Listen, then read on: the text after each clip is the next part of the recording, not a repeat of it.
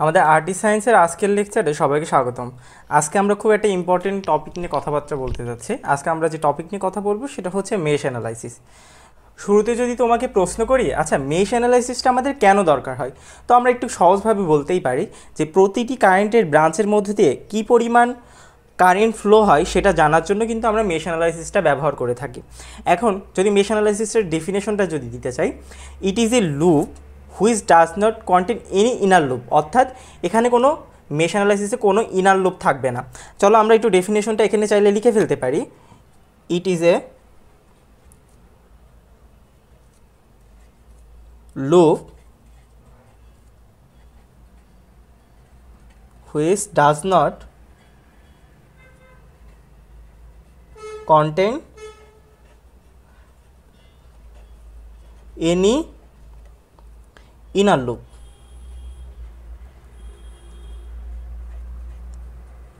এখন আমি যদি তোমাকে প্রশ্ন করি আচ্ছা বলো তো, এই সার্কিটের মধ্যে মেশ কোনটা আর লুপ কোনটা?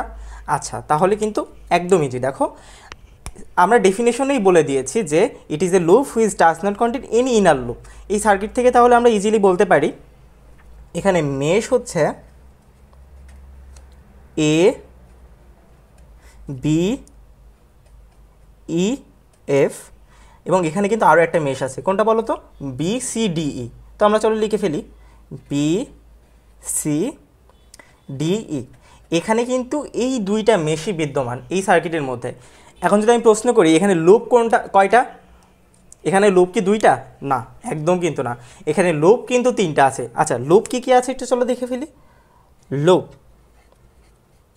এখানে লুপ আছে A, B E F B C D A একটু চিন্তা করে বলো তো, এখানে লুপ আরেকটা লুপ আছে, সেটা কোনটা? হ্যাঁ এ সি ডি এফ এইটাও কিন্তু একটা লুপ তো চলো লিখে ফেলি। এ সি ডি এফ এখানে টোটাল লুপ আছে তিনটা বাট মেশ আছে দুইটা। আমাদের পরীক্ষাতে মেশ অ্যানালাইসিস বিভিন্ন টাইপের কোশ্চেন আসে।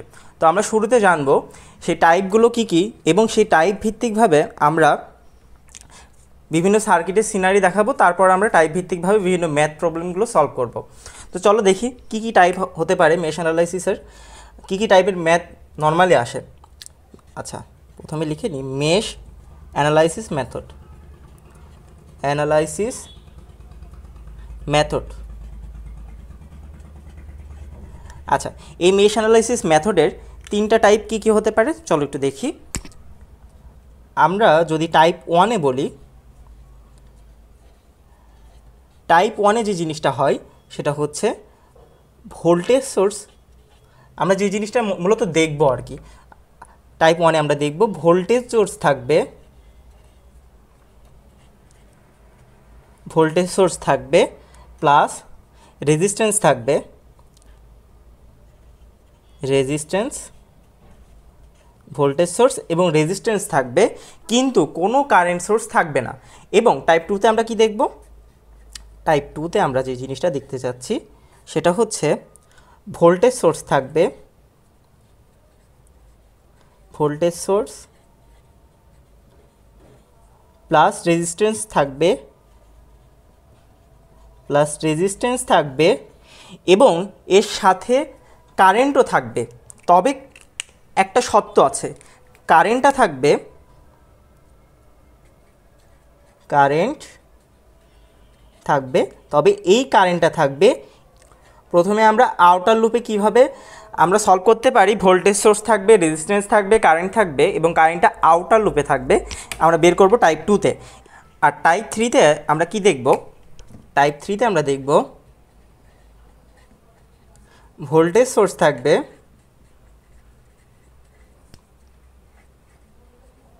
ভোল্টেজ সোর্স থাকবে রেজিস্ট্যান্স থাকবে এবং এর সাথে কারেন্টও থাকবে, তবে কারেন্টটা থাকবে ইনার লোপে এর সাথে কারেন্ট সোর্স থাকবে কারেন্ট সোর্স থাকবে, তবে কারেন্ট সোর্স থাকবে কারেন্টটা থাকবে ইনার লুপে তো চলো, সবার প্রথমে আমরা একটা জিনিস দেখে নিই, সেটা হচ্ছে এই তিনটা টাইপের যে সিনারিটা হতে পারে সার্কিটের সেই সিনারিগুলো একটু দেখে নিই, কেমন হতে পারে? তো দেখো টাইপ ওয়ানে তো দেখো টাইপ ওয়ানে আমরা কি দেখতে পাচ্ছি? টাইপ ওয়ান সার্কিটে আমাদের ভোল্টেজ এবং রেজিস্ট্যান্স প্রেজেন্স আছে, কিন্তু কোনো ধরনের কারেন্ট সোর্স নাই। তো আমরা লিখতেই পারি এখানে যে no current source no current source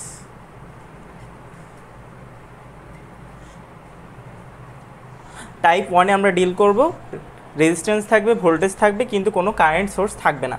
type টুতে আমরা কি দেখব? টাইপ টুতে আমাদের রেজিস্ট্যান্স থাকবে ভোল্টেজও থাকবে, এবং কারেন্টটা থাকবে কারেন্টটা থাকবে আউটার লুপে আউটার লুপ আচ্ছা টাইপ থ্রিতে আমরা কি দেখছি? টাইপ থ্রিতে আমাদের রেজিস্ট্যান্স আছে ভোল্টেজ আছে, এবং কারেন্টও আছে, কিন্তু কারেন্টার আছে ইনার লুপে কারেন্ট আমরা দেখতে পাচ্ছি ইনার লুপে আছে। ইনার লুপে আছে। তো আমরা শুরুতে টাইপ ওয়ানের একটা ম্যাথ দেখব। ম্যাথ দেখে আমরা আইডেন্টিফাই করব এবং দেন আমরা ম্যাথের সলভটা করব।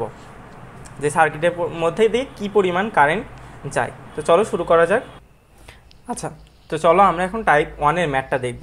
টাইপ ওয়ানের ম্যাথে আমাদের কি বলছে? Calculate the current in branch A B of two ohm resistance for the given circuit using mesh analysis তো এখানে আমাদের দুইটা পয়েন্ট দেখতে হবে ভালোভাবে সেটা হচ্ছে এ বি পয়েন্টে দুই ওহম যাচ্ছে। এই রেজিস্ট্যান্সের মধ্য দিয়ে আমাদের কারেন্টটা নির্ণয় করতে হবে। এবং সেটা অবশ্যই মেশ অ্যানালাইসিসের মধ্য দিয়ে। এই এ বি এর মধ্যে দিয়ে কী পরিমাণ কারেন্ট প্রবাহিত হয় সেটা আমাদেরকে বের করতে বলেছে। তো চলো শুরু করা যাক। আমরা এখানে একটা জিনিস দেখতে পাচ্ছি, আমাদের এখানে দেখতে পাচ্ছি। এখানে তিনটা মেশ আছে। তিনটা মেশ আছে। তো আমরা এখানে লিখে ফেলি। এটা আমরা ধরে নিলাম এটা আই ওয়ান এটা আমরা ধরে নিলাম এটা হচ্ছে আই টু এটা ধরে নিলাম হচ্ছে আই থ্রি এবার আমরা যে কাজটা করব, আমরা এই তিনটা মেশ নিয়ে আলাদা আলাদাভাবে চিন্তা করব। আলাদা আলাদাভাবে ক্যালকুলেশন করে আমরা দেখব আসলে কি আসে। There are three meshes in the circuit. In the given circuit. In the given circuit. আমরা লিখতে পারি applying KVL applying KVL in mesh one আমরা মেশ ওয়ানে আমরা কেভিএলটা চলো অ্যাপ্লাই করি। যদি করি, তাহলে আমরা কি দেখছে? এখানে হচ্ছে ভোল্টেজটা মাইনাস থেকে প্লাসে যাচ্ছে। তার মানে কি? ভোল্টেজ রাইস হচ্ছে। তার মানে এখানে লিখতে পারি টেন আচ্ছা এখানে দেখতে পাচ্ছি পজিটিভ থেকে নেগেটিভে যাচ্ছে। আমরা ধরে নিচ্ছি পজিটিভ থেকে নেগেটিভে যাচ্ছে। যেহেতু আমরা ধরে নিয়েছি এটা ক্লক ওয়াইজ ক্লক ওয়াইজ আমরা ধরে নিয়েছি। এটা আমরা এন্টি ক্লক ওয়াইজও ধরে নিতে পারব, কোনো সমস্যা নেই। তবে আমরা ক্লক ওয়াইজ ধরে নিয়েছি। তো এটার ক্ষেত্রে পজিটিভ থেকে যেহেতু নেগেটিভ যাচ্ছে সেহেতু আমরা বলতে পারি মাইনাস ফোর আই ওয়ান আচ্ছা এখন আমরা কি করব?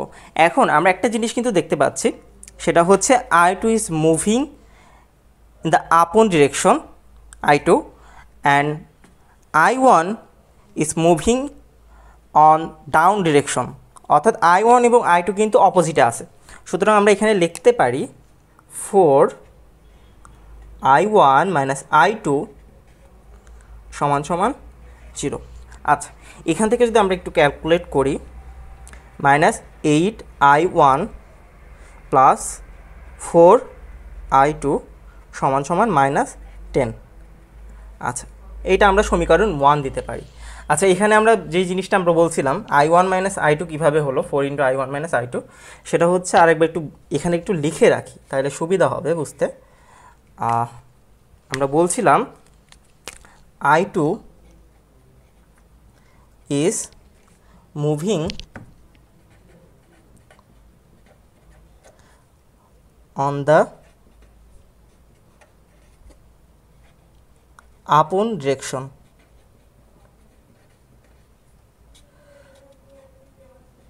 upon direction এবং I one is moving on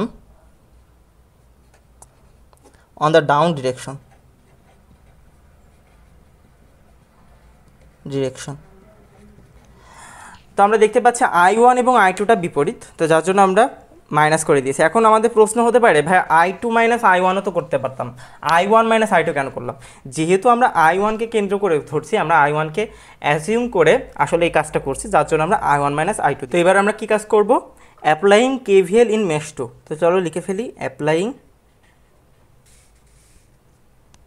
applying KVL in mesh two আচ্ছা এখানে আমরা একটা জিনিস কিন্তু দেখতে পাচ্ছি, এখানে কোনো there is no source of EMF এখানে ইএমএফ এর কোনো সোর্স নাই।